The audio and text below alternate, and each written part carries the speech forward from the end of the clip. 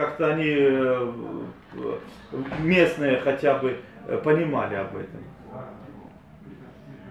То есть нету понимания, нету культуры понимания в бизнесе, нету контакта. В воюющей стране вот так вот относиться к бизнесу, это губительно. Это губительно для любой страны. Сегодня только и только бизнес может поднять эту страну. Понимаете? Губернатор там наш э, выступил против компании Прометей, там рассказал, э, что мы налоги не платим. Вот эти цифры, это официальные цифры. То есть мы ему отправим, и пускай это все-таки чиновник такого ранга, он не должен, не имея ни одного документа, не имея ни одной информации, объявлять в эфир, что компания Прометей не платит налоги. Это чревато. Имидж, для имиджа компании компания э, может э, потребовать материальный, моральный ущерб от такого чиновника.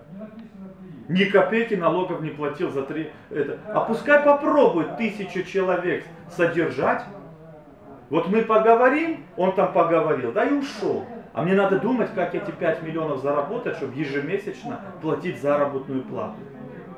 Пускай приходит любой чиновник, который э, ну, имеет более-менее любое математическое образование, я ему дам свое кресло, я ему дам максимально все эти цифры.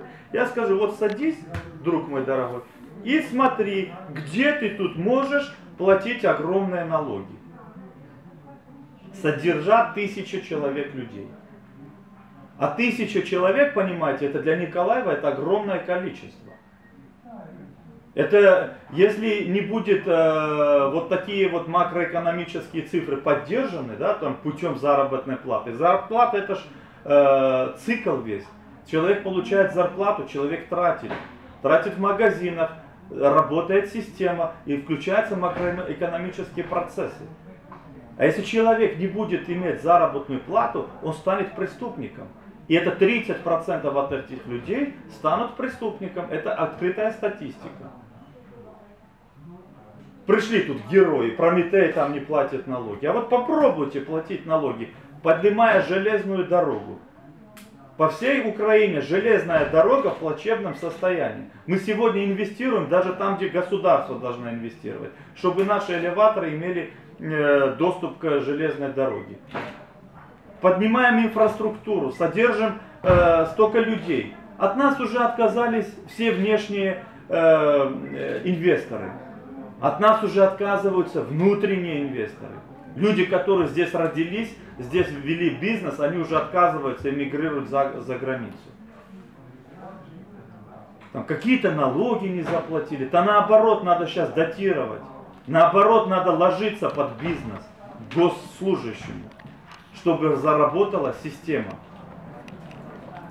Чтобы заработал цикл чтобы люди зарабатывали, чтобы делались э, дороги и так далее. Я свой человеческий э, налог плачу ежемесячно. Э, если вы мимо компании Прометей будете проезжать каждого 25 числа, вы увидите сотни людей, которые от нас получают финансовую помощь, бабушек и дедушек.